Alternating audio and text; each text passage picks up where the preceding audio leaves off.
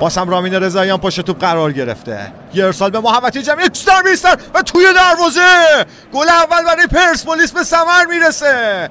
چه ارسالی کرد رامین رضاییان؟ فکر کنم نعمتی گل زده.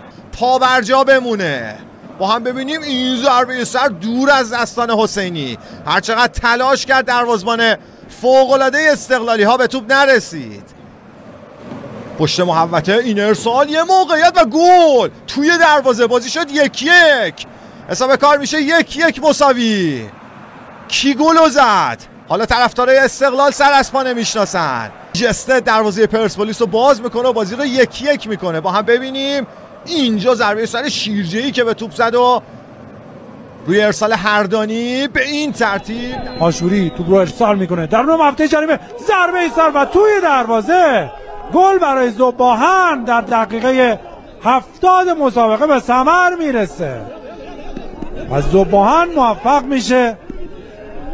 اولین گل مسابقه رو توسط این چهره سعید باقر پسند بدین شکل انجام داد آشوری و ضربه سر. این بار از سمت راست با فخر دینی.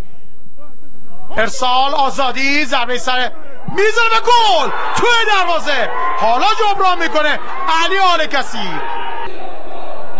در تصویر سه این ضربه چکشی والی و دیدنی که زد. چگونه لوسیانو با جایگیری مناسب خودش از کمند خط دفاعی فج این بار یک سکته میده و ضربش رو می‌زنه و دروازه تیم فجر شهید سپاسی شیراز رو این گونه برزیلی بار. سوتو می‌زنه آقای کمیل غلامی حرکت کرد اینجا.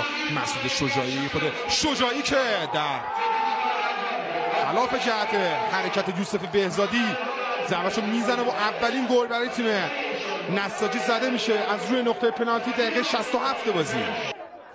موقعیت خوبی رو دارم از تیم شهر خودرو یه موقعیت خوب رضا زاده. میسپاره اونجا به طاهران که رو می‌زنه. علی طاهران چقدر خوب حرکت کردن. از دفاع به حمله ضد حمله عالی از تیم شهر خودرو.